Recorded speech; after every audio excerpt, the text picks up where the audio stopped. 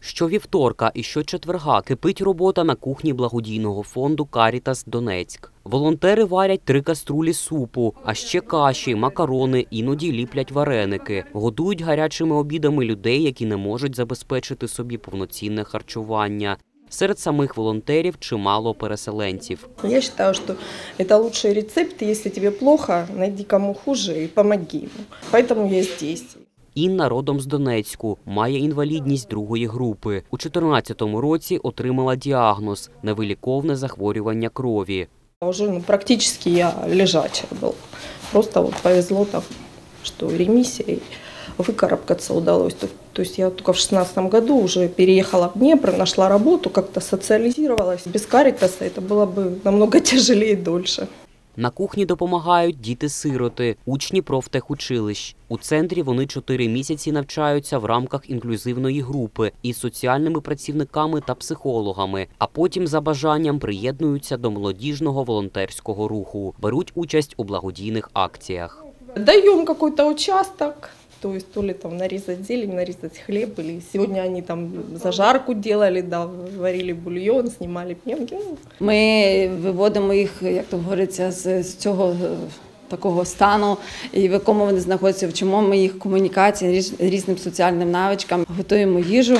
Також е, зараз вирішили спекти е, солодощі і привітати наших стареньких. Ми поїдемо у мобільне містечко для переселенців, привітати їх з весною.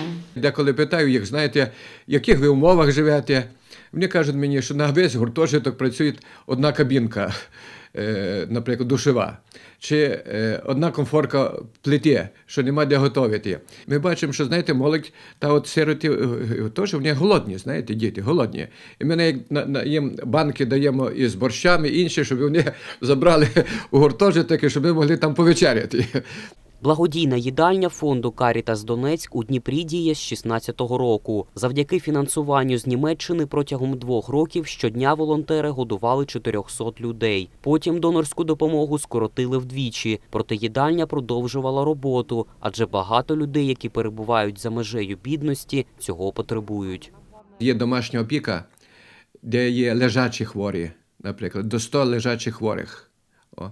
Тож, якщо ми бачимо, що якась там біда, людина е, потребує, і ми теж можемо направляти туди, знаєте, допомоги різні, Е, і так само харчування потреба є. З жовтня 18-го року донор зовсім припинив фінансування. Відтоді фонд двічі на тиждень годує близько 40 осіб власними силами. Зазвичай обіди роздають на вокзалі, біля місцевої нічліжки, а також на території самого центру.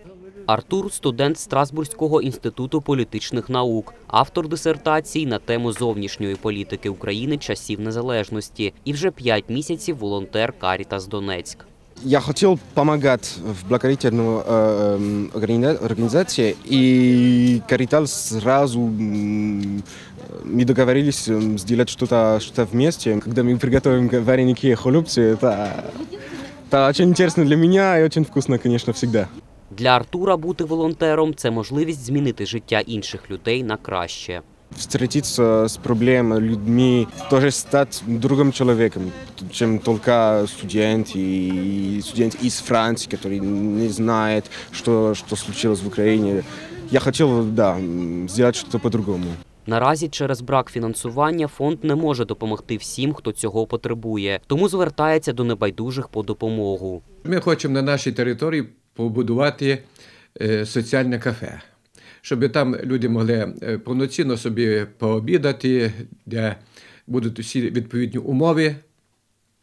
Але теж потребуємо е, допомоги благодійників і будемо дуже вдячні за це. За адресою вулиця Кабардинська, 5, це район вулиці Робочої, можна приносити продукти харчування, макарони, олію, борошно, консерви тощо. Зверніть увагу на екран. Це адреса сайту, через нього можна пожертвувати кошти та реквізити фонду Карітас Донецьк. Георгій Марков, Тарас Іванов. Новини 9 каналу.